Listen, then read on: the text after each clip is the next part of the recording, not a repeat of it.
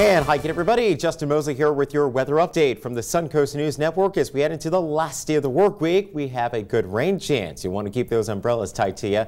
Check out the weather headlines. High storm chances with coverage at about 60%, along with high humidity. Weekend forecast, a drop in our rain coverage. So partly cloudy skies, hot temperatures, and just a few afternoon thunderstorms. And of course, in the long term, the moisture comes back along with the humidity and decent rain chances. It's all reflected with our seven day forecast forecast. 60% rain chance Friday, but notice only 40% coverage on afternoon and evening storms for both Saturday and Sunday, so lots of sunshine out there, and consequently, will be warmer. Lower 90s will be the story across the area. And then heading into next week, you see the rain chances shooting right back up with morning lows into the middle 70s. At your update, Justin Mosley here at the Forecast Center tracking it all for you here at the Suncoast News Network.